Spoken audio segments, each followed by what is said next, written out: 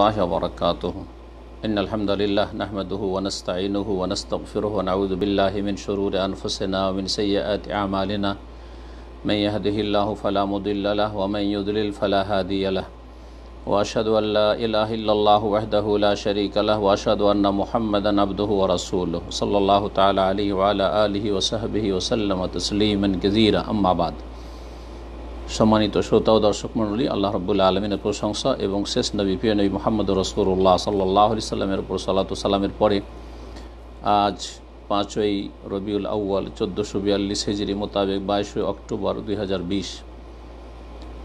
আমাদের সামনে অনেক প্রশ্ন এসে আছে। ইনশা আল্লাহ তালা সময় যতটা আমাদের সাথ দেবে, আমরা প্রশ্নগুলির উত্তর দেওয়ার চেষ্টা করব। আল্লাহ রব্বুল আলমিন যেন তৌফিক দান করেন।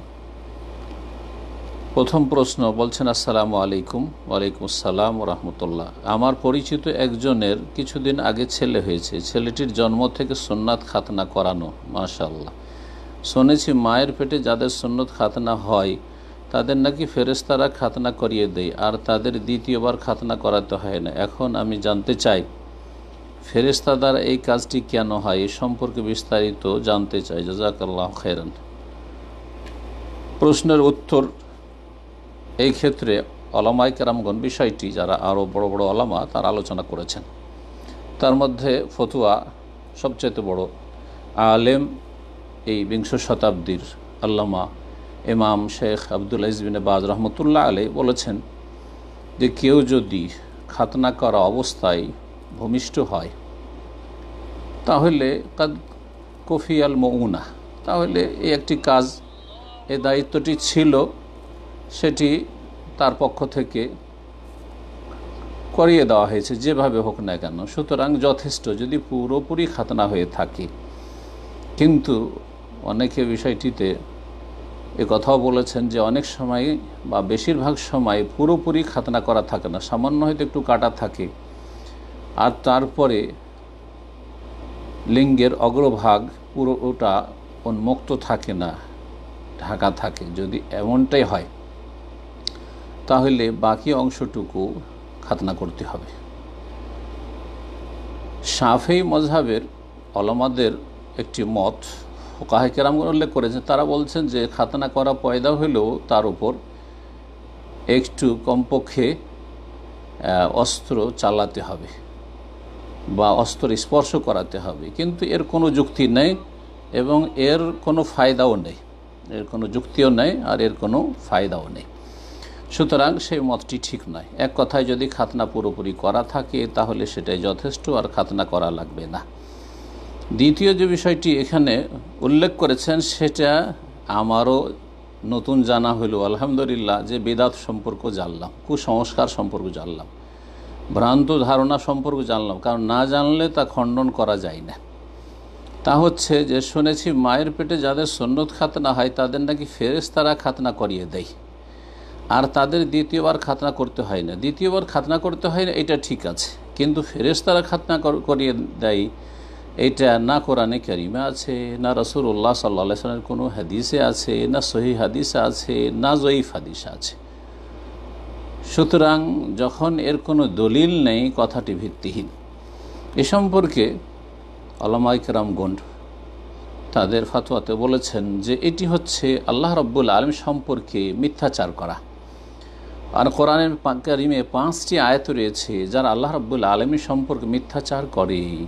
আল্লাহর দিন সম্পর্কে সেটি আকিদা হোক এবাদত হোক, আখলাক হোক, আর খাতনার বিষয় হোক, আর কিছু হোক। যদি কেউ এমন কথা বলে, যার কোনো সনদ নেই, মা আনজাল আল্লাহ বেহামিন সুলতান, যার কোনো দলিল প্রমাণ নেই, কোরআন নেই যদি বলে, তাহলে ওর চাইতে বড় জালেম আর কেউ নেই। ওমান আউজালাম মানিফতার আল আল্লাহ কাদিবাহ ওর চাইতে বড় জালেম আর কেউ হতে পারে না। কে আর হতে পারে আল্লাহ বলছেন? যেই ব্যক্তি আল্লাহ সম্পর্কে মিথ্যাচার করে, সুতরাং সতর্ক, সাবধান, এইরকম আকিদা থেকে আর এইরকম কথা বলা থেকে। এই মরমে সুরে আরাফের আত্ম তেত্রিশে আল্লাহ রব এরশাদ করেছেন, যেই কাবিরা গুনাহগুলি সবচেয়ে বড় কাবিরা গুনাহ। শির্কের সাথে মিলিয়ে আল্লাহ রব্বুল আইন বর্ণনা করেছেন আল্লাহ বলছেন, কুল ইন্না মাহারমা রব্বি আল ফওয়াহিস মা জাহার আমিন হ বাবাতান। হে নবী, বলে দাও, নিশ্চয় আমার প্রতিপালক অশ্লীল কথা কাজকে, যাবতীয় অশ্লীল কথা কাজকে হারাম করেছেন। প্রকাশ্যে হোক অথবা গোপনে হোক। প্রকাশ্যে হোক আর গোপনে হোক। একটি হলো তাহলে অশ্লীলতা। জেনা, সমকামিতা, বস্ত্রহীন চলাফেরা করা অর্ধ উলঙ্গ উলঙ্গ, চলাফেরা করা, নারী পুরুষের একাকার হয়ে যাওয়া, অবাধ, মেলামেশা, সবগুলি অশ্লীলতা, সহশিক্ষা, সব অশ্লীলতা। একসাথে একাকার হয়ে কাজকর্ম করা কর্মস্থানে, এগুলি হচ্ছে সব ফাওয়াহিস তারপরে সোশ্যাল মিডিয়াতে অশ্লীলতার শেষ নেই ফাওয়াহিস ওয়াল ইসমা এবং যে কোনো গোনহা, যে কোনো পাপকে আল্লাহ হারাম করেছেন। ওয়াল বাগিয়া এবং জুলম অত্যাচার কে আল্লাহ রব্বুল্লা আলম হারাম করেছে। বেগাইরা অন্যায়ভাবে নাই সঙ্গত প্রতিশোধ নেওয়া হয়, সেটা ভিন্ন বিষয়। তাহলে তিনটি হয়ে গেল। চার নম্বর বলছেন, ওয়ান তুশরে কবিল্লাহ মালাম ইউনাজেল বেহি সুলতানা। আর আল্লাহর সাথে শির করবেই, যার কোনো সনদ, দলিল আল্লাহ নাজেল করেননি। শির্ক। সবগুলি কাবিরা গুনহা, কিন্তু ধীরে ধীরে বড় কাবিরা গুনহার দিকে আল্লাহ যাচ্ছেন বর্ণনা করি শেষখানে বলছেন, ওয়ান তাকুলু আল্লাহ মা আল্লাহ তালামুন আর তোমরা যদি আল্লাহ সম্পর্কে এমন কথা বলো যে সম্পর্কে তোমাদের কোনো জ্ঞান নেই। জ্ঞান মানে এলমুল ওয়াহি। ওহির কোনো জ্ঞান নেই, দলিল নেই, আর খেয়াল খুশি কথা। খাতনা করা পয়দা হয়েছে, সুতরাং এর খাতনা ফেরেস্তা মালাইকা করিয়ে দিয়েছে। এটি এই রকম অপরাধ। আল্লাহ সম্পর্কে এমন কথা বলা যে সম্পর্কে কোনো জ্ঞান নেই। এটি শির্কের সমতুল্য বা শির্কের চাইতো বড় বললে ভুল হবে না, কারণ ধীরে ধীরে আল্লাহ বড় দিয়ে গেছেন। শির্কের চাইতে বড় গোনা যেহেতু কিছু নেই, সেই জন্য বললাম যে শির্কের সমতুল্য গোনা হচ্ছে আল্লাহ সম্পর্কে, আল্লাহর দিন সম্পর্কে মিথ্যাচার করা। দ্বিতীয় প্রশ্ন বলছেন, আসসালামু আলাইকুম রহমতুল্লাহ বারকাত ওয়ালাইকুম আসসালাম রহমতুল্লাহ বারকাত কিছু দুস্থ বোনের সাহায্যার্থে একজন কাটিং মাস্টার রেখে সেলাই কাজ শেখাচ্ছেন। ওই বোন জানতে চাচ্ছেন, এই কাটিং মাস্টারকে কি যে ফিটা দিতে হবে, তা কি জাকাতের টাকা দিয়ে দেওয়া যাবে বা জাকাতের টাকা থেকে দেয়া যাবে? এই মরমে শেখ ইনুবাদ রহমতুল্লাহ আলাই শিক্ষকদের, সেটা এই দুনিয়ার কাটিং মাস্টারের কথা নয়, ধর্মীয় শিক্ষকদের ক্ষেত্রেও বলেছেন দিনী শিক্ষকদের ক্ষেত্রেও বলেছেন যে যদি সম্ভব হয় যে শিক্ষকদের বেতন, আর সবচেয়ে ভালো শিক্ষা হচ্ছে দিনের শিক্ষা খাইরকুমান তো আল্লামাল কোরআন ও আল্লামাহ। দিনের শিক্ষা, কোরআনী করিমের শিক্ষা ওহির শিক্ষা হচ্ছে সবচাইতে উৎকৃষ্ট শিক্ষা। সেই শিক্ষার ক্ষেত্রে ফতুয়া হচ্ছে যদি অন্য কোনো খাত থেকে ব্যবস্থা, সাধারণ সাদাকা থেকে, অন্য ফান্ড থেকে যদি বেতন দেওয়া সম্ভব হয় আর এই কাজগুলি পরিচালনা করা সম্ভব হয়, তাহলে জাকাত সেখানে ব্যবহার করা ঠিক নয়।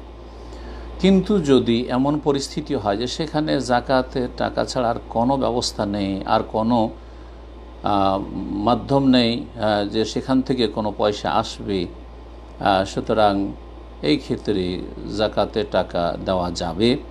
যদি সেখানে দুস্থ, গরিব, অসহায়দের শিক্ষার ব্যবস্থা থাকে। কোরআন করিমের সুরায় তবর আয়তন ওর ষাটে আল্লাহ রব্বুল আলমিন যে বর্ণনা করেছেন জাকাতের খাতগুলি, সেখানে আটটি বর্ণনা করেছেন। মসারিফুজ জাকাত ইন্নামা সাদাকাতুল ফোকারায় ওয়াল মাসাকিন ওয়াল আমেলিন আলিহা ওয়াল মুআল্লাফাতি কুলুবহুম ওফির রিকাব ওয়াল গারিমিন ওফি সাবিলিল্লাহ ওবনিস সাবিল ফরিদ মিন আল্লাহ আল্লাহ আলিমুন হাকিম। এখানে এই রকমের কোনো ক্ষেত্র পাওয়া যাচ্ছে না যে শিক্ষকদের বেতন দেবেন বা কাটিং মাস্টারের বেতন দেবেন, যেহেতু সেলাই শিখাচ্ছে গরিব, অসহায় মেয়েদেরকে অথবা ছেলেদেরকে। ফিসাবিল্লাহকে কেউ প্রশস্ত করে দিয়েছে যদিও ফিসাবিল্লাহ জেহাদ ফিসাবিল্লাহ ফিসাবিল্লাহকে কেউ প্রশস্ত করেছে। তার মধ্যে প্রথম নিয়ে এসছে দিনই এলম হাসিল করা। কারণ যারা দিনে এলম হাসিল করে, দিনে এলম চর্চা করে, তারা আল্লাহর রাস্তায় রয়েছে। আর তারপরে আপনার যে এই প্রশ্নটি, এটা আল্লাহর রাস্তায় যদি সত্যি অসহায়দের দেখাশোনার জন্য, অসহায়দের ভালো ব্যবস্থার জন্য এটা করা হয়, তাহলে সেদিকে নেওয়া যেতে পারে। কিন্তু যেমনটা বললাম যে কোনো ব্যবস্থা যদি অন্য থাকে, তাহলে জাকাতের টাকা দিয়ে কোনো শিক্ষক অথবা কোনো কাটিং মাস্টার দিনের দিনই শিক্ষকের ক্ষেত্রে যেখানে অলমাদের নিষেধাজ্ঞা রয়েছে বা অলমার বলছেন যে চলবে না অনেকেই। তো সুতরাং সতর্কতা অবলম্বন করবেন, আল্লাহ যেন তৌফিক দান করেন। তিন নম্বর প্রশ্ন, আসসালামু আলাইকুম রহমতুল্লাহ। ওয়ালাইকুম আসসালাম রহমতুল্লাহ সম্মানিত শেখ, আমাকে একটু বলে দিন, আনুমানিক কতক্ষণ সময় নিয়ে সলাৎ আদায় করলে তা মোটামুটি সুন্দর সলাৎ হবে? অর্থাৎ এক রাকাত নামাজ কত মিনিট ধরে সময় নিয়ে পড়া উচিত? যাতে করে আমার সলাদটা ধীর স্থিরের সাথে আদায় করা হয়েছে বলে গণ্য হবে। সময় মিনিট ধরে বলাটা আসলে শরীয়তের দৃষ্টিতে কেমন হবে, যত সুন্দর সলাদ করতে পারবেন তত ভালো হবে। এই ক্ষেত্রে সবচেয়ে উত্তম হচ্ছে আপনি এইভাবে শিখুন সহি শুদ্ধ সলাৎ তারপরে খসুর সলাদ আর ওই রকম দীর্ঘ সময় ধরে সলাদ যেটা সত্যিকারের সলাতের মতো ভালো কোয়ালিটির সলাৎ হয়। সুন্দর সলাৎ হয় যেটা জিজ্ঞেস করেছেন, সেটা হচ্ছে সলাতের মধ্যে বেশ কিছু রোকন ফরজ রয়েছে, সেগুলি ঠিকভাবে আদায় করবেন। তারপরে সলাতের মধ্যে ওয়াজিবাত রয়েছে, সেগুলি সুন্দরভাবে আদায় করবেন। চোদ্দোটি রোকন ফরজ, তারপরে আটটি ওয়াজেবাত, আট আর চোদ্দ আর আট বাইশ, আর তারপরে অনেকগুলি সন্ন্যত রয়েছে শুরু থেকে শেষ পর্যন্ত সন্ন্যতগুলি একটিও ছাড়বে না যথাসাধ্য। আর তারপরে আপনি দীর্ঘ সময় তেলাওত করবেন হ্যাঁ? আফজাল সলাতে তুলুল কনুত, একটি হাদিস রয়েছে, উত্তম সলাত হচ্ছে লম্বা কেয়াম করা, দীর্ঘ তেলাওত করা তেলাওত লম্বা করবেন। তারপরে সেজদা এবং রুকুগুলি একটু লম্বা করবেন। কারণ রসুল্লাহ সাল্লাহ আলি সাল্লামের সলাতের কোয়ালিটি ছিল যে কেয়াম, দাঁড়ানো, রুকু, সেজদা, আর রুকু থেকে উঠে যে সময়টা কমা এবং জালসাবাইনা সাজদা তাই দুই সেজদার মাঝখানে বৈঠক, এগুলি সবগুলি হতো করিব মিনাসওয়া কাছাকাছি। রসুল্লাহ এও বলেছেন যে, আকরাবু মায়া কুনুল আবদমিন রবি ও সাজেদ, যখন শেষদায় বান্দা থাকে, তখন সবচেয়ে বেশি নিকটবর্তী হয়ে যায় রবের। সুতরাং শেষদা দীর্ঘ এমন নয় যে, তিনবার, পাঁচবার, সাতবার শুধু তসবি করলেন, নয়বার, দশবার তসবি করলেন, যথেষ্ট, আমি তো নয়বার, দশবার তসবি করি। না না, এটাকে মনে করবেন না যে অনেক সুন্দর সলাৎ হয়েছে, বরং সেজদাতে আপনি নয় দশবার তসবি করলেন। তসবি শুধু সুবহান রব্বিয়াল আলা নয়, সুবহানাক আল্লাহ রব্বান রব্বি হামদিক আল্লাহ মকফলি সুব্বহন কদ্দুস রব্বুল মালায়কে রোহ। আর তারপরে অন্য অন্য দুয়া ফজতাহেদুফি দুয়া রসল দুয়াতে মেহনত করো, পরিশ্রম করো, চেষ্টা করো। তো মনোযোগে হে দোয়া করবেন। আরেকটি কথা মনে রাখবেন সলাদকে সুন্দর করার জন্য একটি ফর্মুলা মনে রাখবেন, যেটা খুব গুরুত্বপূর্ণ। সেটা হচ্ছে সলাৎ আদায় করবেন তাকার্রবের জন্য তাকাল্লুসের জন্য নয়। আরবিতে বললাম, এর অর্থ করে দিই। সলাৎ আদায় করবেন আল্লাহর সান্নিধ্য লাভের জন্য, আল্লাহর নৈকট্য অর্জনের জন্য, আল্লাহর কাছাকাছি কত যেতে পারে। আইয়হম আকরব ওয়ারজুন রাহমাতাহ ওয়া খাফুন আজাব আল্লাহ নেক বান্দাদের কোয়ালিটি আল্লাহ রব্বুল আলমিন বর্ণনা করেছেন। সুরাই ইসরাতে, যে কে কত বেশি আল্লাহ নিকটবর্তী হতে পারে? তো তাকার অচ্যুত ওয়াক্তারিব। সুরাই আল্লাহের শেষখানে আল্লাহ কি বলছেন? সেজদা করো এবং আল্লাহর নৈকট্য অর্জন করো। তাহলে সেজদার মাধ্যমে আল্লাহর নৈকট্য অর্জন করা যায়। যখন আপনি সলাৎ পড়বেন, কি উদ্দেশ্যে? যে আল্লাহর যত কাছাকাছি আমি যেতে পারি। তখন সলাতে যত সময় দেবেন, যত সময় লাগাবেন, তত মজা লাগবে। পক্ষান্তরে তাখাল্লুস মানে হচ্ছে মুক্তির জন্য। কোনো রকম করে আদায় করে দিই। কাঁধের উপর বোঝা আছে জোহরে চার রাখাত পড়তে হবে, তারপরে সন্ন্যত পড়তে হবে, বোঝা আছে, যত তাড়াতাড়ি বোঝা নামিয়ে দিতে পারি, কাজ হয়ে গেল। হ্যাঁ আমার জোহরের সলাৎ শেষ, আসরের সলাৎ শেষ, আমি এসার সলাৎ পড়ে ফেলেছি।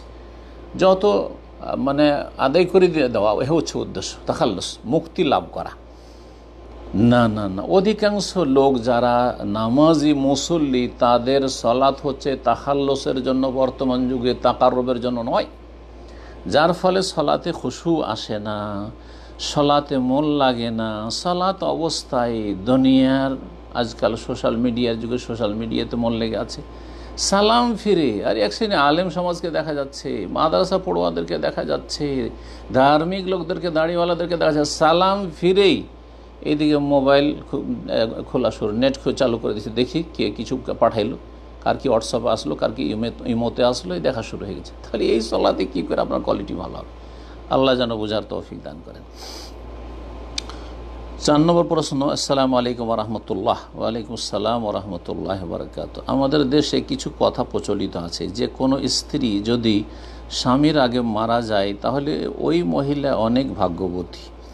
আর তার স্বামী যদি তার জানাজা পড়ায়, তাহলে নাকি সে জান্নাতি। সম্মানিত শাহ কোরআন হাদিসের আলোকে এই জাতীয় কথার কি আদৌ কোনো ভিত্তি আছে? প্রথম যেটা জিজ্ঞেস করে সেটা হচ্ছে যে, কোনো স্ত্রী যদি স্বামীর আগে মারা যায়, তাহলে ওই ওই মহিলা অনেক ভাগ্যবতী। এরকম কথা কোরআন হাদিসে আমার জানা নেই যে, খুব ভাগ্য ভালো। আর তার স্বামী যদি আবার জানাজা পড়ায়, তাহলে সে জান্নাতি জান্নাতের সার্টিফিকেট পেয়ে যাবে। এটিও ডাহা মিথ্যা কথা, ডাহা মিথ্যা কথা। জি হ্যাঁ। জান্নাত পাবে। ইমান তৌহিদ সন্না এবং নেক আমলের মাধ্যমে। তৌহিদ এবং ইমান ও আমল ইন্নাল্লাজিনা আমান ও আমিল সালেহাত কানাত আলহম জান্নাতুল ফিরদাউস নজুল্লাহ ইমান এবং নেক আমলগুলি যদি থাকে, ফারাইজ ওয়াজিবাদ থাকে, হারাম নাজাজ থেকে বেঁচে থাকে তাহলে ইনশাল্লাহ জান্নাতে আতিথ্য করা, আতিথ্যের ব্যবস্থা করা হবে, আল্লাহ বলছেন। বহু আয়াত রয়েছে মর্মে। কিন্তু স্বামী জানাজা পড়েলে জান্নাত চলে যাবে, এটা একবারে মিথ্যা কথা। আর তারপরে যদি স্বামীর আগে স্ত্রী মারা যায়, তাহলে ভাগ্যবতী এটাও জাল কথা। তবে একটা জয়ীফ হাদিস রয়েছে সোনান ইবিনের মাজাই, তিনশো চৌষট্টি নম্বর হাদিস। সে হাদিসটিকে আল্লাহ আলবানী জয়ীফুল জামেতে, জয়ীফ বলেছেন, আর তারপরে জয়ীফ দুর্বল, যে জয়ীফ ইবিনে মাজা রয়েছে, তাতেও জয়ীফ দুর্বল বলেছেন, কারণ তাতে দুটো অজ্ঞাত পরিচয়, মজহুল রাবি বর্ণনাকারী রয়েছে। সে হাদিস রয়েছে, আইয়মা ইমরাতিন মাতাত ওয়াজৌজোহা আনহারাদ কোনো মহিলা যদি মৃত্যুবরণ, ইন্তেকাল করে, মারা যায়, আর তার স্বামী তার উপর রাজি থাকে মানে তার স্বামী সন্তুষ্ট থাকা অবস্থায় যদি মারা যায়, দাখালাতিল জান্না তাহলে সে জান্নাতে যাবে। স্বামীর সন্তুষ্টির কথা তাহলে বলা হয়েছে মানে স্বামীকে সন্তুষ্ট রাখতে পেরেছে সারা জীবন, আর যেই সময় ইন্তেকাল করে, সেই সময় তার স্বামী তার উপর সন্তুষ্ট ছিল। তাহলে জান্নাতে যাবে। তারপরেও হাদিসটি জয়ী পাঁচ নম্বর প্রশ্ন, আসসালামু আলাইকুম। ওয়ালাইকুম আসসালাম রহমতুল্লাহ সম্মানিত শেখ, আমার প্রশ্ন হলো, বর্তমান সময়ের পরিপ্রেক্ষিতে কোনো একটি জিনিস আমার লেখাপড়ার জন্য খুবই প্রয়োজন, যার বর্তমান মূল্য হল পনেরো হাজার টাকা, কিন্তু সেই টাকা আমার পক্ষে একসঙ্গে দেওয়া সম্ভব না। যার জন্য আমি কিস্তির মাধ্যমে নিয়েছি এবং যার জন্য আমাকে আটশো অষ্টআশি টাকা বাড়তি দিতে হয়েছে, যেটা সুদ। না, সুদ বলেছেন, এটা ভুল। কারণ আমাদের দেশে কোনো ইসলামিক ব্যাংক নেই, এখন আমার করণীয় কি? ভারতের পশ্চিমবঙ্গ থেকে বলছেন হ্যাঁ বলছেন আমাদের দেশে কোনো ইসলামী ব্যাংক নেই। ইসলামী ব্যাংকগুলিও তো নয়, ছয় করছে, ইসলামের নামে। তো আল্লাহ হেফাজত করুক। কথা হচ্ছে যে কিস্তিতে কেনা বেচা জায়জ। যদিও বিষয়টিতে ইখতলাফ রয়েছে, কিন্তু সৌদি আরবের অধিকাংশ আলমাদের ফতোয়া হচ্ছে যে কিস্তিতে কেনা বেচা জায়জ, গাড়ি হোক, বাড়ি হোক আর কোনো এই রকমের সামান হোক যে সম্পর্কে জিজ্ঞেস করেছেন কিস্তিতে। কারণ এতে মূল্য জানা থাকছে। ঝগড়া, দ্বন্দ্বের কোনো আশঙ্কা নেই। অজ্ঞতা নেই, অস্পষ্টতা নেই, জেহালাত নেই, ধোকাবাজি, প্রতারণাও নেই। স্পষ্ট থাকছে যে যারা নগদ ক্যাশ দিয়ে কিনছে, তাদের এই রেটে দেওয়া হচ্ছে। আর যদি কেউ কিস্তিতে কেনে, তো এত টাকা তার মূল্য পড়ছে, এত টাকা তাকে কিস্তিতে কিস্তি দিয়ে পরিশোধ করতে হবে। সুতরাং এটা জায়জ। ছয় নম্বর প্রশ্ন, জানাজার নামাজ কি সিররি না জেহরি? কোনটা সহি? জানাজার সলাতে সিররি পড়তে হবে সিররি পড়তে হবে। প্রথম তকবির তকবিরগুলো জোরে দেবেন, তকবিরগুলো উচ্চ স্বরে দেবেন। হ্যাঁ কারণ মুসল্লিরা আপনার সাথে যারা আছে, তারা শুনবে আর সুরা ফাতিহা আসতে পড়বেন সিরি মনে মনে পড়বেন। প্রথম তকবীরের পরে, দ্বিতীয় তকবীরের পরে আপনার সলাত আল্লাহ নবী আল্লাহ সাল্লি আল্লাহ মোহাম্মদ, আল্লাহ বারিক আলমদুরুদ ইব্রাহিম পড়বেন। আর তৃতীয় তকবীরের পরে, জানাজার যে দু আল্লাহ মকফিল হাইয়েন ওমাইয়েতেন ও শাহেদেনা, এছাড়া আল্লাহ মকফিল্লাহ মরহাম হুম আফেহিম ওয়াফ আনহুম। বা আল্লাহ মকফিল্লাহ আরহাম ওয়াফি ওয়াফ আনহু, যে দোয়া রয়েছে, এই দোয়াগুলি পড়বেন। আর চতুর্থ তকবির দিয়ে সালাম ফিরবেন। সালাম ফিরবেন। জানাজায় হানাফি সমাজে সানা পড়ে প্রথম তকবীরের পরে কিন্তু সুরা ফাতিহা পড়ে না। অথচ সানা পড়ার কোনো দলিল নাই, পক্ষান্তরে সুরা ফাতিহা পড়ার দলিল রয়েছে হাদিসে। সুতরাং সন্ন্যত অনুযায়ী পড়বেন। আর কিছু আহলাদিস লোকেরাকে দেখা যায়, কোনো কোনো এলাকায় মশলাটি সঠিকভাবে না জানার কারণে তারা জোরে তেলাওত করে সুরা ফাতেহা। আর অনেকে দেখে যুক্তি পেশ করতে যে মুক্তাদিরা শুনবে না। মুক্তাদিরা যদি না জানে, তাদেরকে শিখিয়ে দেন, বলে দেন দুই মিনিটের মধ্যে। কারণ অজ্ঞ সমাজ অধিকাংশ জানে না যে কোন তকবীরের পরে কি করতে হয়। বলেন, প্রথম তকবীরের পরে সুরা ফাতিহা, দ্বিতীয় তকবীরের পরে দুরুদ ইব্রাহিমী, তৃতীয় তকবীরের পরে জানাজার দোয়া, আর অধিকাংশ লোকেরই জানাজার দোয়া মুখস্থ নেই। আর তারপরে চতুর্থ তাকবীরের পরে সালাম। সালাম একদিকে জানা যায় ফিরলেও চলবে। যেমন এমাম আহমদ বিন হাম্বালের মজহাব সৌদি আরবের তার উপরে আমল রয়েছে। আর দুই দিকে করলেও চলবে, যেমন আলবানী রাহেমাহুল্লাহ তাই বলেছেন। দুই দিকেও করা যেতে পারে সালাম ফেরা। আর একদিকে করা যেত। কিছু লোকের এখন বাড়াবাড়ি শুরু করেছে। এখন দুই দিকটাকে উঠিয়ে একদিকেই মানে প্রতিষ্ঠা করবে। মনে হচ্ছে যে বড় ভুলে আছে যারা দুই দিকে সালাম ফিরছে, এটিও ভুল কথা।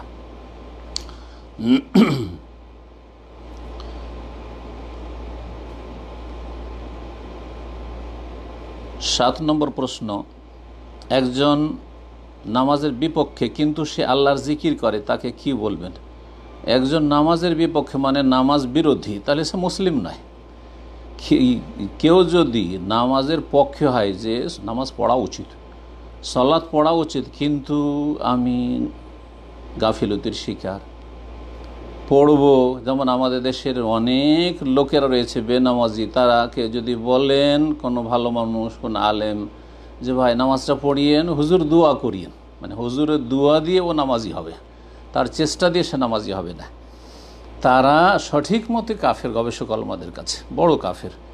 যদিও বিষয়টিতে ইখতলাফ রয়েছে, কারণ সে সলাৎ অস্বীকার করে না সলাৎকে তুচ্ছ মনে করে না সলাৎকে অবজ্ঞা করে না বা সলাৎ অস্বীকার করে করে না।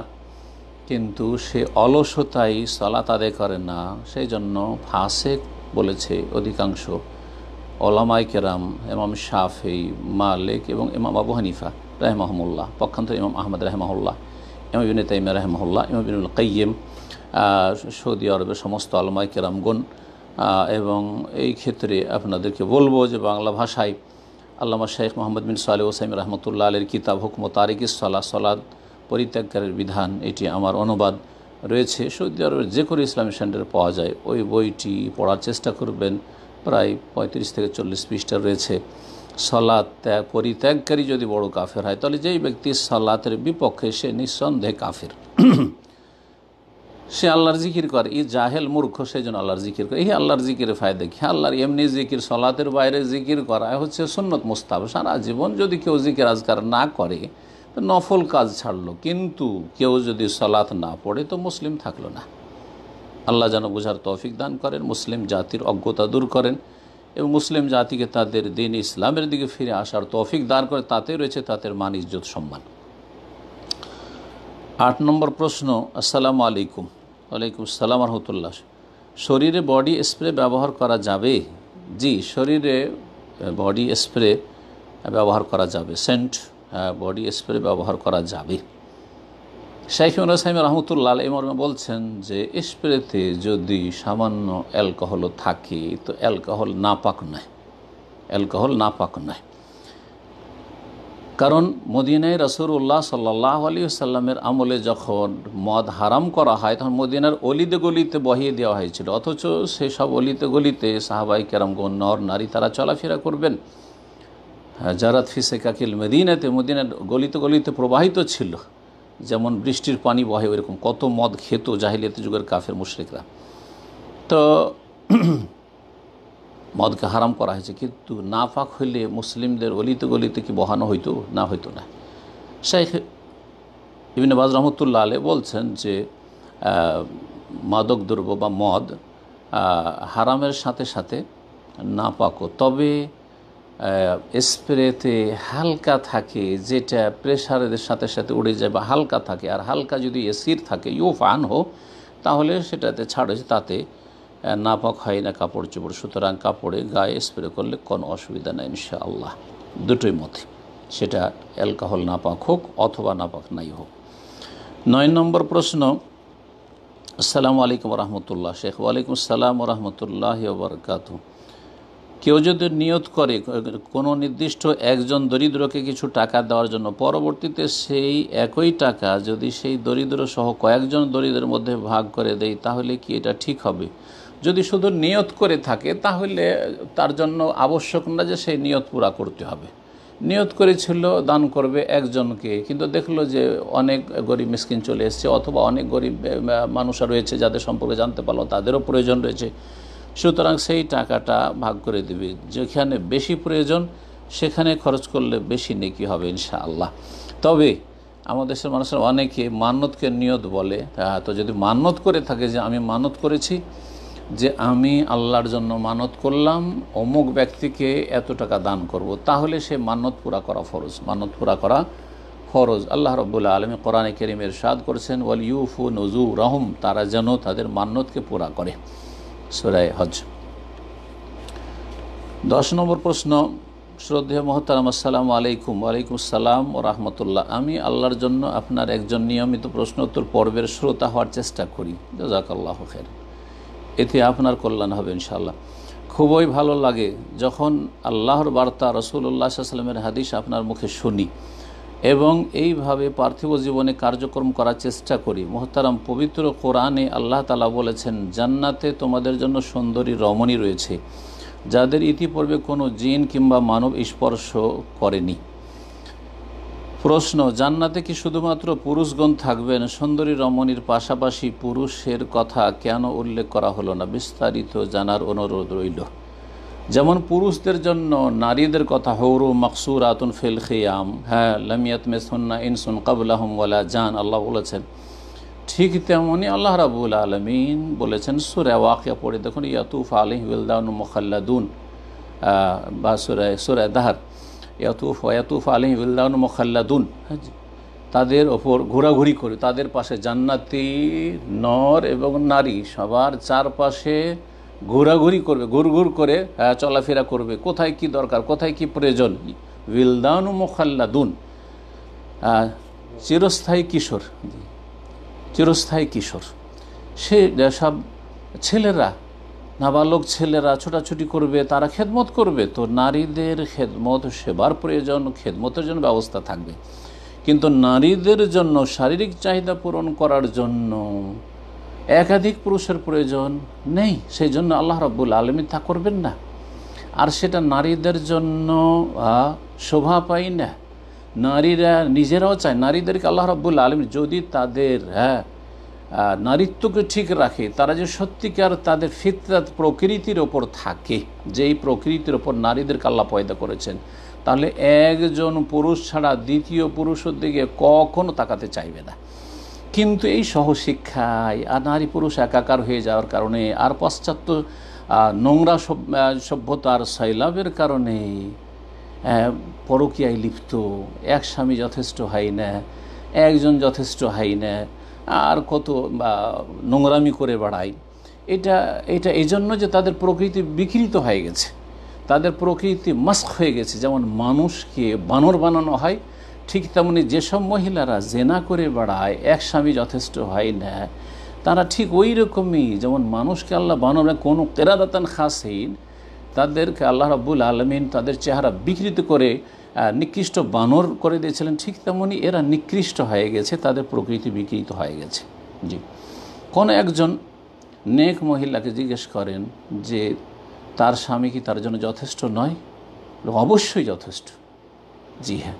বরং তার স্বামী ছাড়া সে কারও দিকে তাকাতে চাইবে না।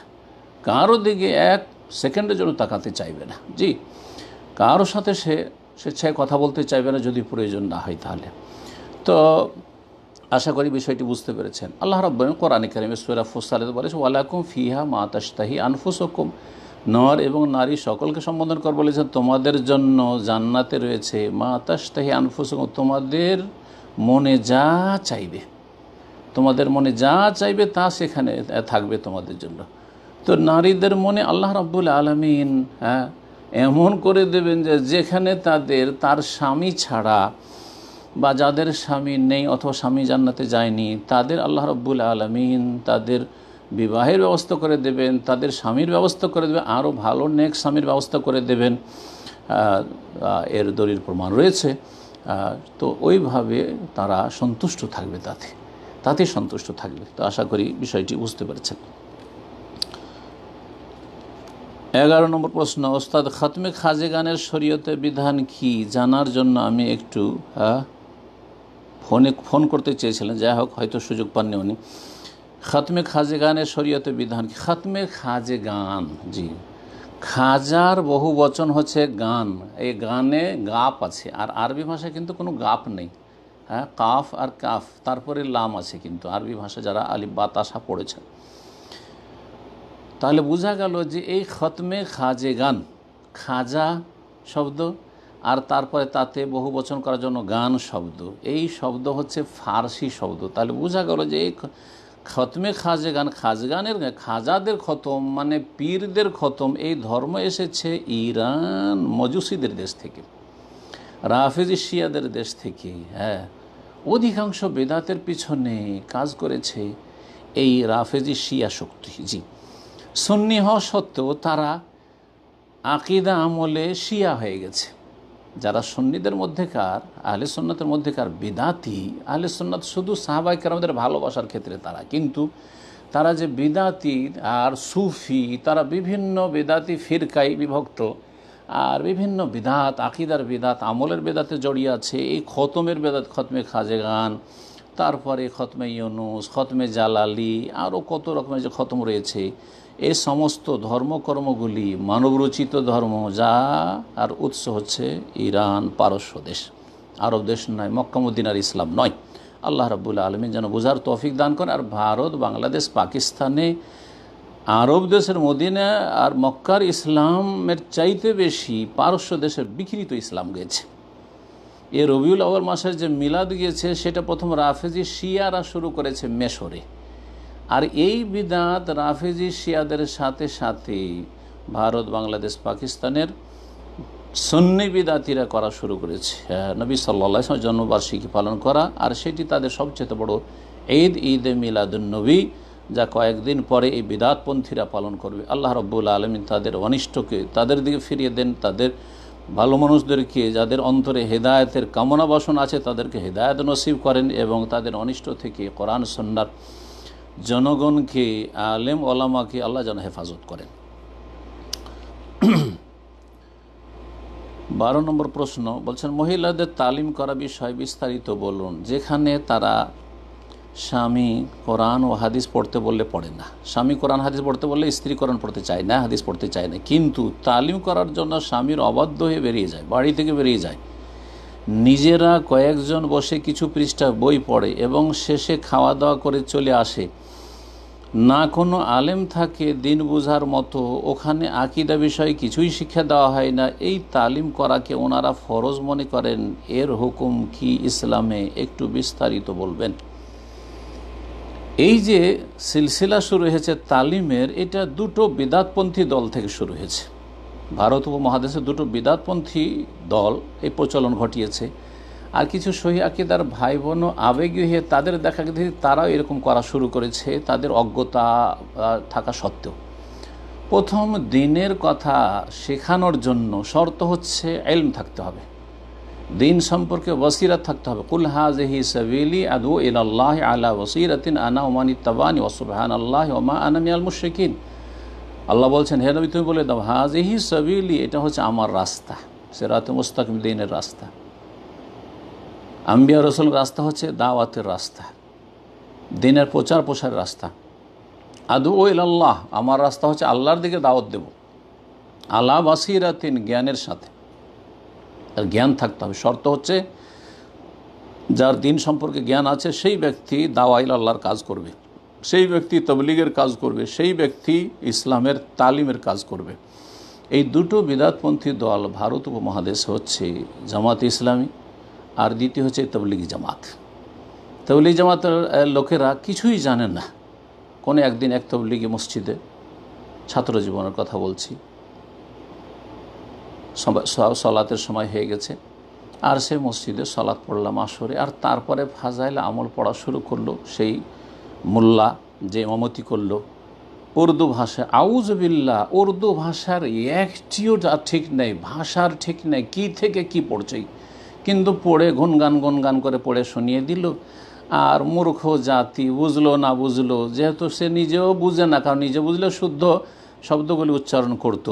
বাক্যগুলি উচ্চারণ করত। এই হচ্ছে তাদের তালিম আর তাদের মহিলাদের তালিম, তাদের পুরুষদের তালিম। তো এই তবলিগ জামাত, এই যে এক বড় ফিতনা, এই ফিতনা আপনার এই জাহালাতের তালিম শুরু করেছে।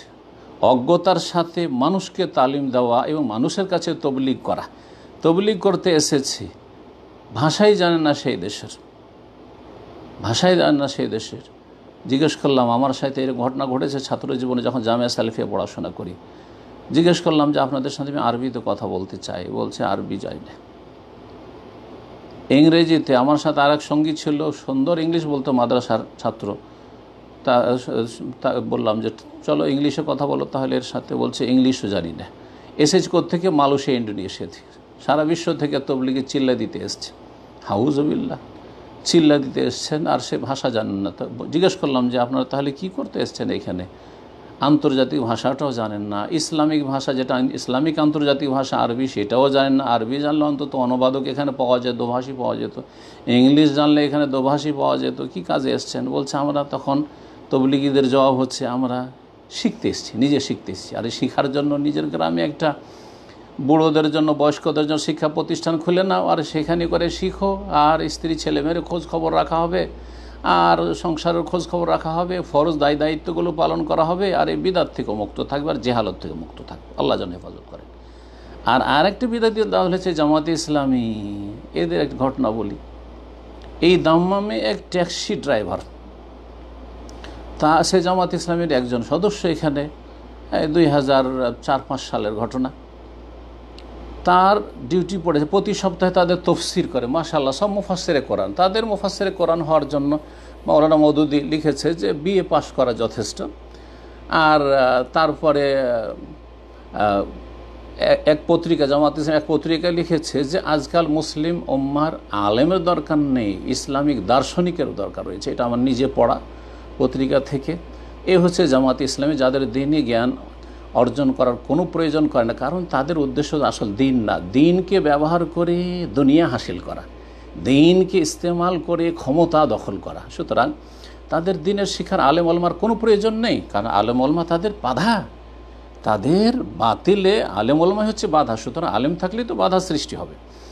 তো এই করেছে কি? এই ছেলে ইসলামী সেন্টারে এসেছে। সে লাইব্রেরিতে লাইব্রেরি আছে। তাকে এসে বলছে সুর আসরের তফসির বাংলা ভাষী বলছে, শেখ মতিউর রহমানের সুরে আসরের তফসির চাই। তো খোঁজাখুঁজি করছে। ওই সময় আমি একটু নিচে নেমে এসেছি, দেখি লাইব্রেরিতে ওই ছেলেটি তলাশ করছে। তো আমাকে যে লাইব্রেরি ছিল যে, এই সুরে আসরের তফসির চাই। জিজ্ঞেস করলাম যে, তুমি তো ট্যাক্সি চালাও বাবা, তো তুমি সুরে আসরের তফসির কী করে? বলছে, আমার এই জুমাবারে তফসিরের দায়িত্ব পড়েছে, আমাকে দার্সে কোরআন দিতে হবে। আহুজবিল্লাহ হিন্না আলিল্লাহ রাজু দার্সে কোরআন দিবে, সুরা আসরে তফসির করবে, একটা জাহেল, লেমুজিন ট্যাক্সি ড্রাইভার, আর সে কোনো একজনে তফসির শুনে শুনে, যেহেতু সন্নি মুসলমান, শুনে শুনে ভারতের সব মুসলিম এই হলো অবস্থা। তো এদের থেকে আমাদের কিছু দিনী ভাই বোনেরা শিখেছে তালিম দেওয়া। সহি আকিদায় আসলেও পুরোপুরি সহি আকিদা মানহাজ আসতে পারেনি। যার ফলে জাহালাতের সাথে সাথে কিছু জানেও না, কিন্তু ছোট থাকতে চাই না। চাই, বড় কিছু হবে। আর তা হচ্ছে তালিম করবে। এই তালিম করতে ছুটে স্বামীর অবাধ্য হয়ে। আল্লাহ এই সব মহিলাদেরকে হেদায়ত দান করেন। স্বামীর অবাধ্য হয়ে ফরজ কাজ ছাড়া। সন্ন্যত কাজও করা যাবে না। ফরজটা আপনার পড়া হয়েছে, ফরজ সলাদ জোহরের। আর সন্ন্যত বাকি আছে। এসার ফরজ পড়া হয়েছে সন্ন্যত বেতর বাকি আছে। স্বামী যদি ডাকে, দৌড় দিয়ে ছুটে চলে যেতে জি। সোমবার বৃহস্পতিবারে শ্যাম পালন করবেন, স্বামীর অনুমতি ছাড়া শ্যাম পালন করা যাবে না। আইয়াম বীজের শ্যাম পালন করবেন, স্বামী যদি অনুমতি না দেয়, তাহলে পালন করা যাবে না। এই মর্মে হাদিস রয়েছে, আপনাদের জানা উচিত। সুতরাং এক তো অজ্ঞতা, দিন সম্পর্কে কোনো জ্ঞান নেই, সুতরাং তালিমের কাজ করা, দাওয়ার কাজ করা, তবলিগের কাজ করা হারাম। আর তারপরে সেই কাজের জন্য আর এক হারাম হচ্ছে স্বামীর অবাধ্য বাড়ি থেকে বেরিয়ে চলে যাওয়া। তারপরে আমি জানি, এরা যে তালিম করতে যায় পরপুরুষের সাথে যায়। একজন পুরুষ থাকে, তার স্ত্রী হয়তো আচার তার সাথে চার পাঁচজন মহিলা একসাথে। জি, মহিলা গ্রুপে চলাফেরা করছে, আর তার সাথে দিনী ভাই, তার সাথে গল্প চলছে, আর তারপরে হাসি মজাক চলছে। আউজবিল্লাহমিনা শৈতান রাজিম, আল্লাহ সব থেকে যেন হেফাজত করেন। এ সমস্ত ফিতনা দিনের ফিতনা, দুনিয়ার ফিতনা, সব রকম ফিতনা, আখলাকের ফিতনা, আকিদার ফিতনা। তেরো নম্বর প্রশ্ন, আসসালামু আলাইকুম রহমতুল্লাহ বরকাত ওয়ালাইকুম আসসালাম রহমতুল্লাহ বরকাত সম্মানিত শেখ, প্রশ্ন ছিল, কোরআন পড়িয়ে এর বিনিময়ে পারিশ্রমিক হিসাবে ফি গ্রহণ করলে সে অর্জিত অর্থ কি সঞ্চয়, বিনিয়োগ অথবা দান করার ক্ষেত্রে ব্যয় করতে পারবে, নাকি শুধুমাত্র বেঁচে থাকার জন্য যে পরিমাণ অর্থের প্রয়োজন, শুধু এতটুকু গ্রহণ করতে পারবে? এই বিষয়ে ইসলামের কি দিক নির্দেশনা জানতে চাচ্ছি। জাক আল্লাহ খের অলমারা বলেছেন, উত্তম হচ্ছে, কেউ যদি কোরআনের শিক্ষা দিয়ে বা দিনের তালিম দিয়ে যে পয়সাগুলি উপার্জন করছে, সেটা সর্বনিম্ন যেটা দিয়ে সংসার চলে যায়, যেমন খোলাফের দিনগণ তারা ভাতা নিতেন, ভাতা দেওয়া হয়তো তাদেরকে। কারণ ভাতা না দিলে তাহলে কি করে খেলাফতের দায়িত্ব পালন করবেন? আউ বাকর সিদ্দিক রাজি আল্লাহ তারা প্রথম দিনই খলিফা হওয়ার পরে বাজারে ব্যবসা করতে চলে গেছেন। ওমার রাজি আল্লাহ সেখান থেকে তাকে ধরে নিয়ে আসছেন, আপনি কী করছেন এখানে? বলছে, আমার তো সংসার আছে, আমার পেট আছে, আমার ছেলে মেয়ে আছে, তারা যে অনাহারে থাকবে কিছু তো নেই বাড়িতে। চলেন, আপনার জন্য আমরা ভাতার ব্যবস্থা করছি, মুকাফা, ভাতার ব্যবস্থা ছিল তাদের জন্য। এতটা নিতে, যতটাতে তাদের সংসার চলে যেত, এটা হচ্ছে জহদ তাকোয়া পরেশগারির লক্ষণ। তবে কেউ যদি বেতন ফিক্স করে নেয় আর তারপরে সেটা থেকে খেয়ে দিয়ে বেঁচে যায়, আর সেটা অর্জন উপার্জন করে রাখে, সঞ্চয় করে, বিনিয়োগ করে, সেটাকে বাড়াবার চেষ্টা করে, জায়েজ আছে ইনশাআল্লাহ, কোনো অসুবিধা নেই। আল্লাহ তালা আলা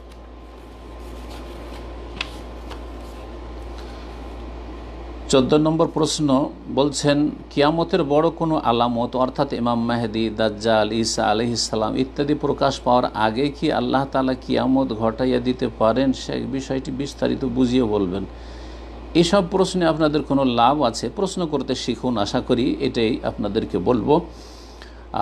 তবে আমার মনে হচ্ছে যে নিজের আকিদা আমলের সংশোধনে অভাব আছে যাদের, তারা কোনো প্রশ্ন খুঁজে পায় না।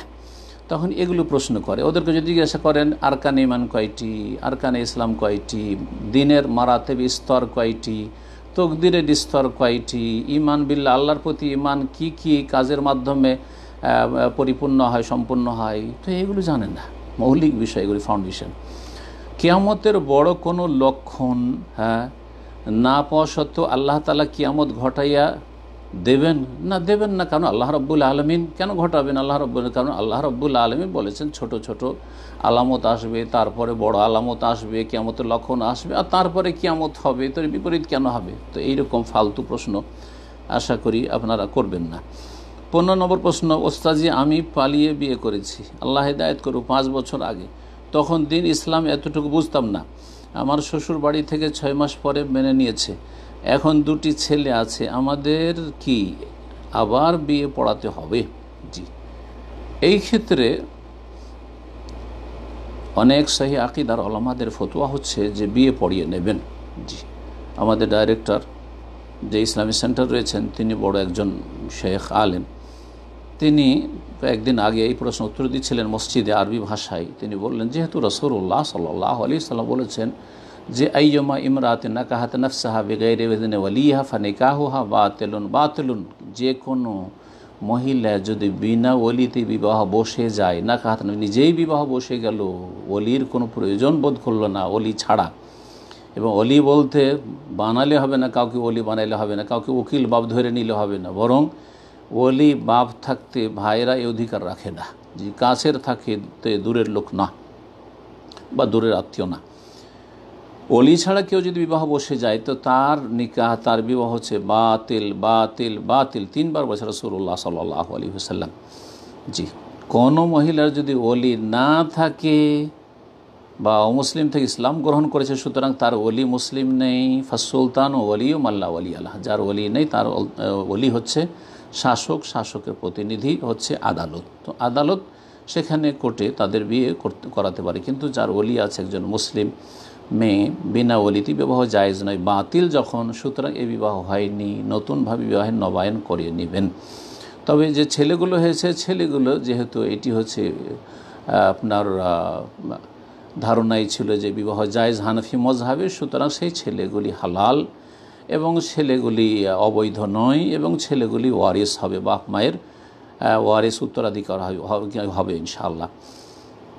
আর কিছু আলামারা বলেছেন, যেহেতু যারা এই রকম পালিয়ে গিয়ে বিয়ে করে বা কোর্ট ম্যারেজ করে অভিভাবক ছাড়া বিয়ে করে তারা হানাফি মজহাবের অনুসারী। আর হানাফি মজহাবে সাবালিকা মহিলার জন্য অভিভাবক শর্ত নয়। অভিভাবক না থাকলেও বিবাহ বসতে পারে। সুতরাং সে বিবাহ তাদের মজহাবে শুদ্ধ ছিল। যদিও হাদিস বিরোধী, তাদের মজহাবে শুদ্ধ ছিল।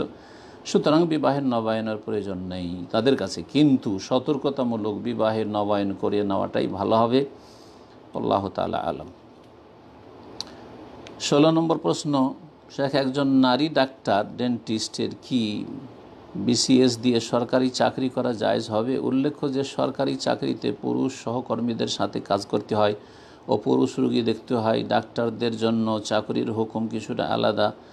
শুনেছিলাম। এই জন্য প্রশ্নটি করা। আরও উল্লেখ্য যে সে পরিপূর্ণ পর্দা করে, আর শুধু নারী রুগী দেখার সুযোগ থাকে। যদি সহকর্মীরাও ধার্মিক হয় ও সাহায্য করে, কিন্তু অনেক ক্ষেত্রে পুরুষ রুগীও দেখতে হয়, বাধ্য হয়ে বা দেখতে বাধ্য হয়।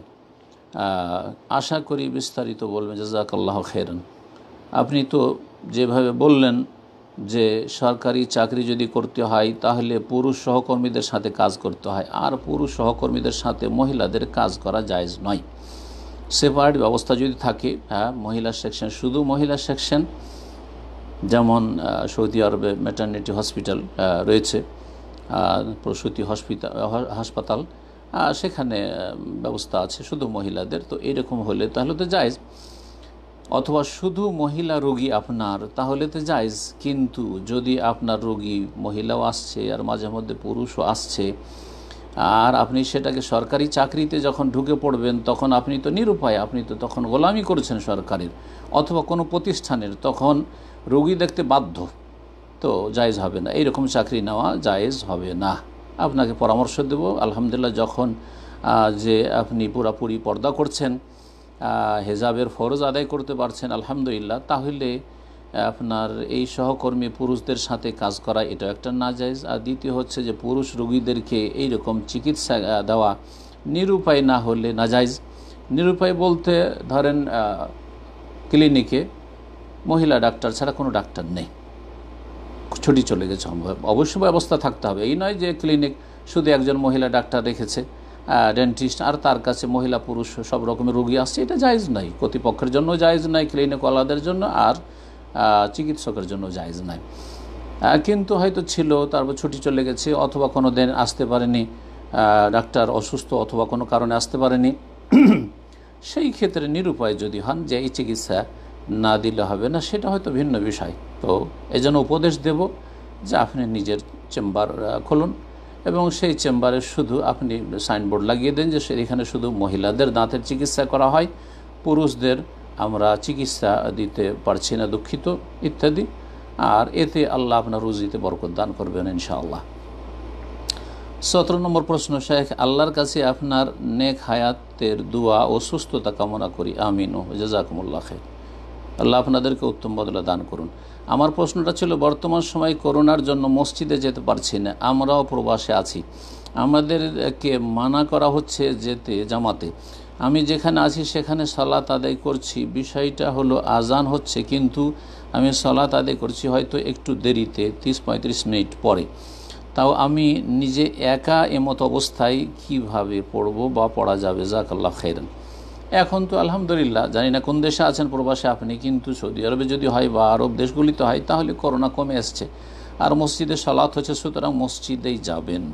মসজিদে গিয়ে সলাৎ আদায় করার চেষ্টা করবেন। অথবা বাসাতে যদি বেশ কয়েকজন থাকেন, আর সেখানে জামাত সহকারে আদায় করেন, আর সেখানে আপনি সেটে সেটে একই পরিবারের, যারা পরিবার নিয়েছে একই পরিবারের সেটে সেটে যেমন দাঁড়াইতে হয় আর তারপরে মুখোশ ব্যবহার করতে হচ্ছে, মাস্ক ব্যবহার করতে হচ্ছে না বাসাতে, বাড়িতে নামাজ পড়লে, তাহলে এখানে আপনি দুটো নিষিদ্ধ কাজ থেকে বাঁচতে পারছেন। যে আপনি সেটে সেটে মুসল্লি মুসল্লির সাথে লেগে সালাত আদায় করলেন, আর তারপরে মাস্ক ব্যবহার করা যেহেতু নিষেধ, সে, সেটা, সেটাও আপনি ঠিক রাখলেন। তাহলে হয়তো চলতে পারে। কিন্তু আপনি একা সলাত আদে করবেন, অথচ মসজিদে সলাৎ হচ্ছে, যদিও সেখানে সন্ন্যতের খেলাফ আপনার দূরত্ব বজায় রেখে সলাৎ হচ্ছে বিশেষ অজুহাতে। আর তারপর সেখানে মাস্ক আইনত যেহেতু মাস্ক বাধ্যতামূলক মাস্ক ব্যবহার করতে হচ্ছে, তারপরেও বলব যে আপনি মসজিদে গিয়ে জামাতে সলাত আদায় করবেন, কারণ আল্লাহ রব্বুল আলমিন ওয়ারকাউ মার রাখি রুকুকারীদের সাথে রুকু করতে, সলাত আদায় করতে বলেছেন।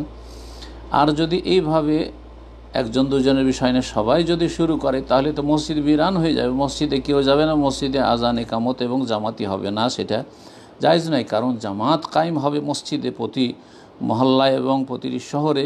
এটি হচ্ছে ইসলামের শেয়ার একটি হ্যাঁ স্পষ্ট নিদর্শন, যেটা অবশ্যই প্রতিষ্ঠিত হইতে হবে। আল্লাহ যেন তৌফিক দান করেন। আঠারো নম্বর প্রশ্ন, প্রিয় শেখের কাছে আমার প্রশ্ন হলো, স্ত্রীর পক্ষ থেকে বিবাহ বিচ্ছেদ ঘটালে, অর্থাৎ স্ত্রী তালাক চাইলে মোহরানা যদি বাকি থাকে এক্ষেত্রে স্বামীর পক্ষ থেকে স্ত্রীকে মোহর দেওয়া আবশ্যিক কি? আশা করি যথাযথ উত্তর দিয়ে উপকৃত করবেন। যদি স্ত্রী তালাক চেয়ে নেই, তা আর আপনি তালাক দেন। তালাক চাইছে যে আমি তোমার সাথে সংসার করতে চাই না। তো একে কোরআন হাদিসের ভাষায় খোলা বলা হয়। খোলা বলা হয়।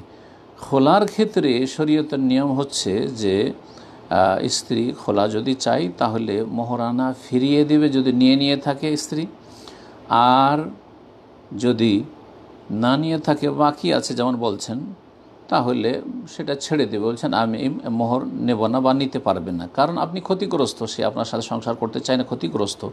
এই মর্মে সুরায় বাকারার আয়াত নম্বর দুইশো উনত্রিশ, তাতে আল্লাহ রাবুল আলমের এরশাদ করেছেন, ফাইন খিফতুম আল্লাহ ইকিমা হুদুদ আল্লাহ। তোমাদের যদি এই আশঙ্কা হয় যে তারা আল্লাহর সীমানা সংরক্ষণ করতে পারবে না, আল্লাহর সীমানা যে নির্ধারিত সীমানা রয়েছে মানে দাম্পত্য জীবনকে তারা কন্টিনিউ করতে পারবে না, স্বামী স্ত্রী সম্পর্ক রাখতে পারছে না, একে অপরের হক আদায় করতে পারছে না, অশান্তি বিরাজ করছে। ফালা জোনাহ আলে হেমা ফি মাফতাদাত বেহ। তা আর স্ত্রী যদি সংসার না করতে চায়, স্বামী তালাক দিতে চায় না, ও রাখতে চায়, আর স্ত্রী থাকতে না চাই, তাহলে কোনো গোনা হবে না। ফি মাফতা তাদবে যদি স্ত্রী মুক্তি লাভ করে মুক্তিপণের মাধ্যমে, অর্থাৎ মোহর দিয়ে দেওয়ার মাধ্যমে, কমপক্ষে মোহরটা ফিরিয়ে দেওয়া বা মোহরটা নেব না, ছেড়ে দেওয়ার মাধ্যমে এই হচ্ছে আল্লাহ রব্বুল আলমের বিধান। উনিশ নম্বর প্রশ্ন, বলছেন, যত রকম ভাইরাস রোগ, সব যেমন জ্বর, কাশি এবং শরীর ব্যথা, আমাদের যে রোগ বালায় অসুস্থ, এসব নাকি মূলত জিন শয়তানও করে থাকে। আমাদের দৈনন্দিন যত বিপদ আপদ, তা সব কিছুর মূলে নাকি জিন শয়তানের সক্রিয় ভূমিকা থাকে। এমনকি জিন শয়তান নাকি আমাদের মনি মজি মলমূত্র চুষে নেই। জাদুটোনা করলেও নাকি আমাদের সাথে যে করিন নামক জিন শয়তান আছে, তার মাধ্যমে মূলত তা সম্পাদন হয়ে থাকে। কথাগুলি সব জালিয়াতি কথা। এগুলি হচ্ছে আল্লাহ সম্পর্কে ওয়ান তাকুর আল্লাহ মালা তালমুন। আল্লাহ সম্পর্কে না জেনে কথা বলা, দলিলবিহীন, ভিত্তিহীন কথা বলা, বড় কাবিরা গোনা, শিরকের সমতুল্য কাবিরা গোনা। আর এগুলি হচ্ছে, ওমান আল্লাহ ইমান ইফতার আল্লাহ কাজিবা আল্লাহ সম্পর্কে যারা মিথ্যা রচনা করে, তাদের চেয়ে বড় জালেম আর কেউ নেই।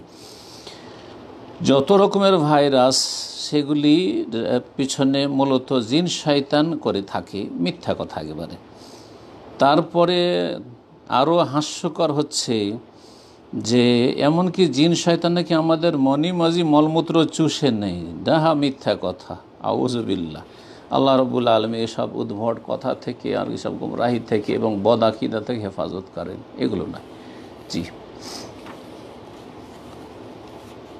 তাউনের ক্ষেত্রে অলমারা বলেছেন, শুধু তাউনের ক্ষেত্রে তাউন বিশেষ মহামারীর কথা বলা হয়েছে। সেই ক্ষেত্রে হাদিসে রয়েছে। শয়তান ক্ষতি করতে পারে, শারীরিকভাবে ক্ষতি করতে পারে, কিন্তু প্রতিটি রোগের পেছনে শয়তান কাজ করছেন না না না। এইরকম কথা, ভিত্তিহীন কথা। বিশ নম্বর প্রশ্ন, সম্মানিত শেখ, আমার প্রশ্ন, সাহাবিদের বা নবী রসুলদের নামের আগে কি হজরত বলা এবং মসজিদের এমামে, এমামকে হুজুর বলা যাবে? সাহাবিদের এবং নবী সাল্লামের নামের আগে হজরত হ্যাঁ হজরত অবাকার সিদ্দিক হ্যাঁ হজরত মোহাম্মদ সাল্লাহ সাল্লাম এই যে আমাদের দেশে বলার প্রচলন রয়েছে এইটাও ওই পারস্য দেশ থেকে উর্দু ভাষা এসছে আর উর্দু ভাষা থেকে আমাদের বাংলা ভাষায় গিয়েছে। সাহাবাইকেরামরা বা তারপরে সাহাবাইকেরামদের সম্পর্কে এখন পর্যন্ত আরবরা আল্লাহদরা ও বকার হ্যাঁ আল্লাহদরা উমার, এইরকম তো বলে না? জি, বলেন না। মিশরি আরবরা সৈয়দানা উমার সৈয়দানা আবু বকর এরকমটা বলে। যদিও সৈয়দানা বলা যাবে কি যাবে না আমাদের এই ক্ষেত্রে দ্বিমত রয়েছে। না বলা এটাই ভালো, না বলাটাই ভালো এইভাবে। কারণ এটাও সালাফদের ভাষা নয় যে সৈয়দানা আবু বকর, সৈয়দানা আবু হরেরা সৈয়দানা আনাস, এভাবে সাহাবে কেরামদের নামের সাথে বলবে। তো সাহাবিদের নাম নবী সম্পর্কে ওই রকমই নবী সালাম নিষেধ করেছেন হ্যাঁ সৈয়দানা বলতে। জি। ওয়ালা আলে সৈয়দেনা মাওলানা মোহাম্মদ, এগুলো সব বেদাতি দুরুদ, এগুলো সব বেদাতি দুরুদ। তো আল্লাহ সাল্লি ওসাল্লিম আল্লাহ নবী মোহাম্মদ বা আল্লাহ হাবিবেনা মোহাম্মদ। কিন্তু আল্লাহ সৈয়দেনা ও মৌলানা মোহাম্মদ বা আল্লাহ সাল্লি আল্লাহ সৈয়দেনা মোহাম্মদ সৈয়দেনা এগুলি বিদাতি ভাষা। আসলে এই ভাষাগুলি সালাফগণ, সাহাবাই কেরাম তাবেইন তাবা তাবেইন তারা প্রয়োগ করেননি। নবী রসুলগণের ক্ষেত্রে যখন এইসব প্রয়োগ হয়নি হজরত আর সৈয়দ সাহাবাই কেরামদের ক্ষেত্রে প্রয়োগ হয়নি। তাহলে এই আপনার আলেম ওলামাদের ক্ষেত্রে বা মসজিদের ইমামদের ক্ষেত্রে হুজুর বা হজরত বলা জি, এসব ভারতীয় মাদ্রাসাগুলোতে হ্যাঁ বলে হজরত হ্যাঁ দেওবন্দ, দেওবন্দীদের মাদ্রাসা, বেরুলিদের মাদ্রাসা হজরত যেমন আহমদ রেজা খান বেরুলিকে আলা হজরত মানে সবচাইতে সুউচ্চ হজরত তাদের। আলা হজরত ওরা নাম বলেন আহমদ রেজা খানের, তারা বলে আলা হজরত তো এইসব কথাগুলি আসলে ইরান থেকে ভারত উপমহাদেশে গেছে আর সেগুলি আমাদের বাংলা ভাষায় গেছে। এগুলি বর্জন করে দেওয়া ভালো, জি। এগুলি বর্জন করে দেওয়া ভালো। আরবরা সালাফদের যুগ থেকে শেখ বলে আসছে। এবং আহমদ রাহমাউল্লাহকে শেখ বলতো এইসব কথাবার্তা আছে সালাফদের। আইমাইকারমদের যুগে শেখ বলাটা ছিল ওস্তাদকে অথবা আলেমকে, ইমামদেরকে শেখ বলা ছিল। এলমের শেখ, জি। একুশ নম্বর প্রশ্ন, শেখের কাছে আমার একটা প্রশ্ন, আমি সলাত আদের সময় আমি মনে করেছি আজান দিয়ে দিয়েছে, কিন্তু যখন নিয়ত করলাম এক রাকাত চলে যাওয়ার পর আজান দিচ্ছে, এ অবস্থা আমার কি আর করা উচিত? যদি আপনি আজান দেয়নি, কিন্তু সলাতের সময় শুরু হয়ে গেছে মানে সলাতের সময় প্রবেশ করেছে, তাহলে আপনার সলাৎ শুদ্ধ। আপনার সলাৎ সন্ন্যত হলো শুদ্ধ, ফরজ হলো শুদ্ধ। অনেক সময় মুসাফির সফরে আছেন, আর আপনি জামাতের অপেক্ষা করতে পারবেন না। সুতরাং মসজিদে ঢুকলেন আর সালাত শুরু করেছেন আর সেই সময় আজান দিচ্ছে। এছাড়া সালাতের সময় শুরু হয়ে গেছে, মাগরেবের সময় শুরু শুরু হয়ে গেছে, আপনি সলাৎ পড়ে চলে গেলেন। জোহরের সময় শুরু হয়ে গেছে, কিন্তু আজান হয়তো এক দু মিনিট লেটে হচ্ছে। তো কোনো অসুবিধা নেই। কিন্তু যদি আজান একবারে প্রথম অক্তে হয় আর এখন অক্ত প্রবেশ করেনি আর আপনি সলাদ পড়ছেন, তাহলে সেই সলাদটি পুনরায় পড়ে নেবে। সেই সলাদ আপনার শুদ্ধ হবে না। সময়ের আগে সলাদ শুদ্ধ হবে না। একমাত্র তাহিয়াতুল মসজিদ বা তাহিয়াতুল অজুর নিয়ত যদি করে থাকেন, তাহলে কোনো অসুবিধা নেই। আজান হচ্ছে, আপনি সলাদ কন্টিনিউ করুন।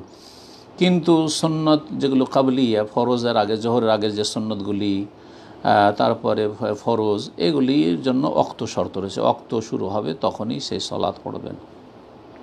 বাইশ নম্বর প্রশ্ন, শেখ, আমার প্রশ্ন হলো, চার রাকাত বিশিষ্ট ফরজ সলাতের শেষের দুই রাকাতে সুরা ফাতেহার পর কোনো সুরা মিলালে কি সমস্যা হবে?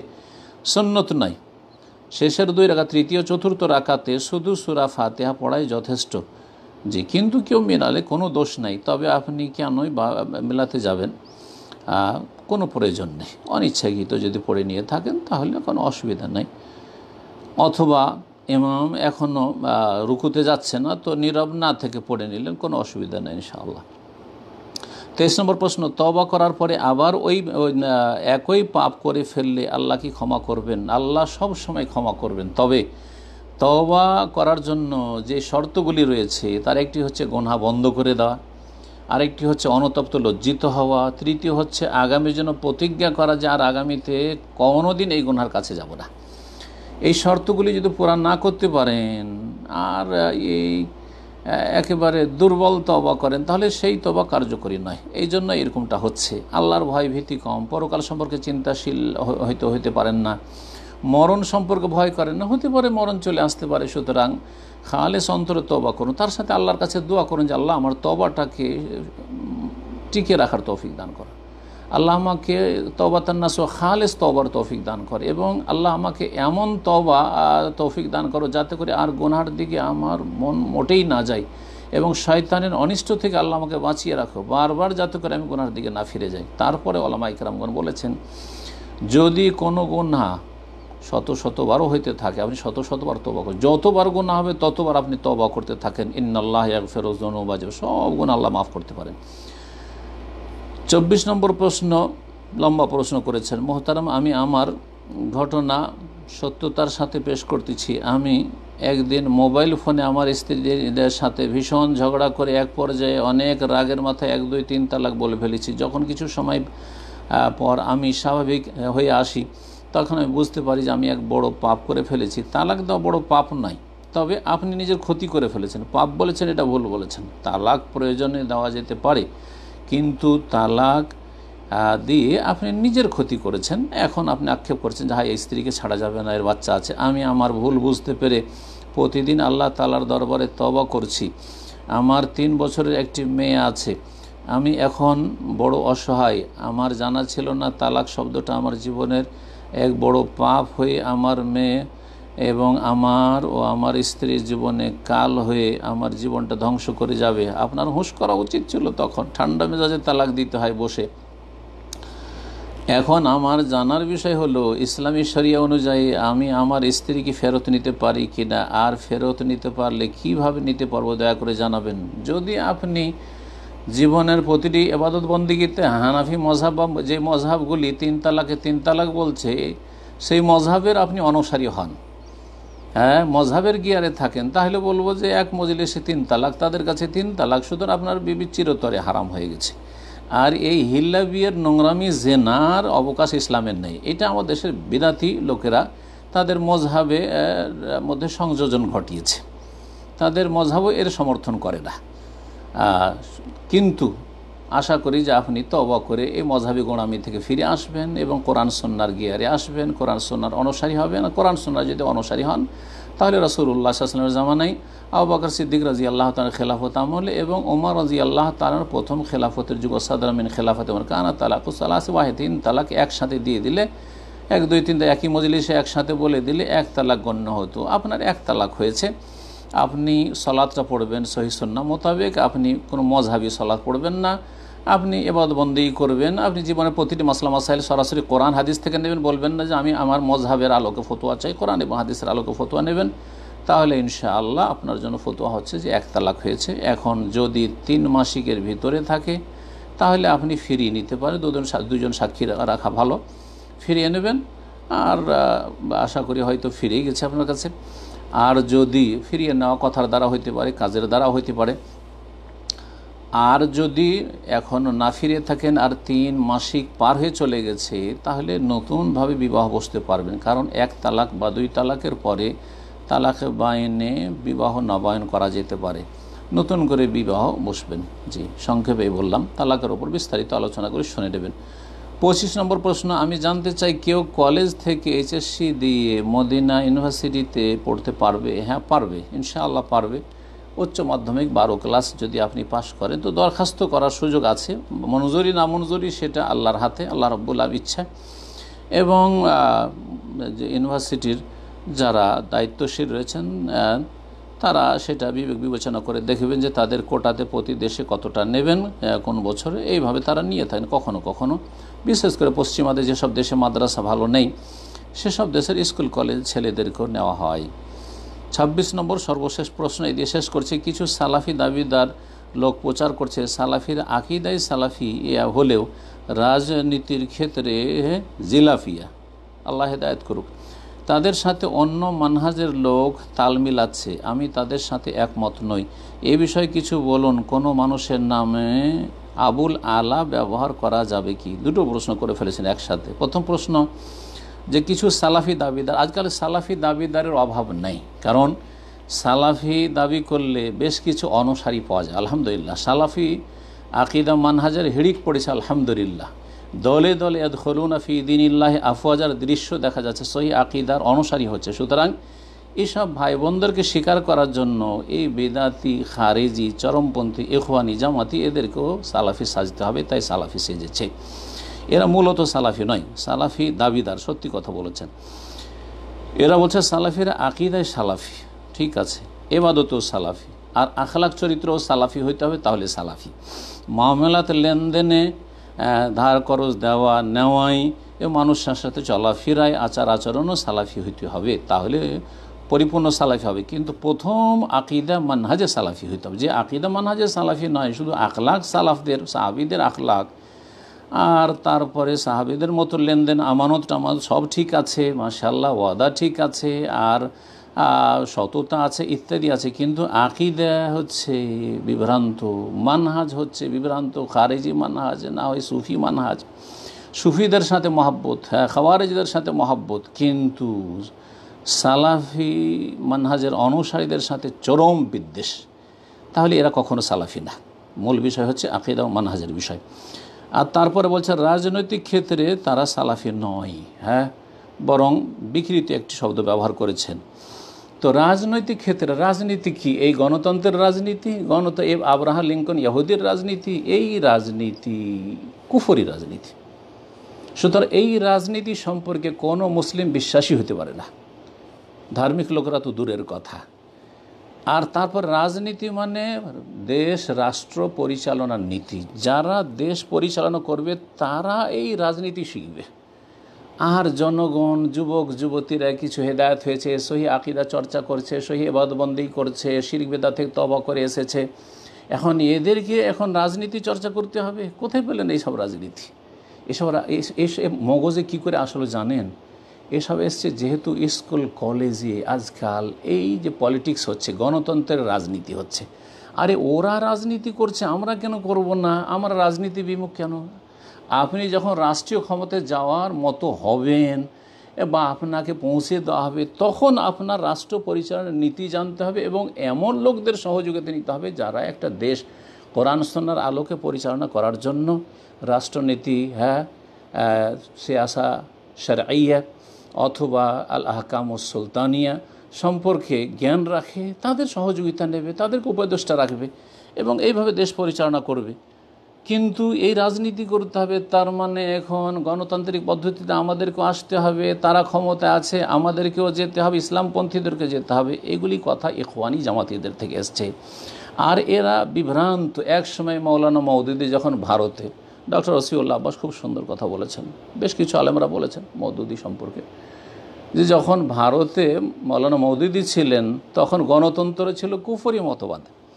কিন্তু যখন পাকিস্তানে হিজরত করে আসলেন, তখন গণতন্ত্র তার কাছে হয়ে গেল হ্যাঁ ইসলাম কায়েমের জন্য বড় জেহাদ। ওইটাই জেহাদ, যেটা কুফরি ছিল কালকে, সেটা আজকে পাকিস্তানে হিজরত করে আসার পরে সেটা হয়ে গেল ইসলাম।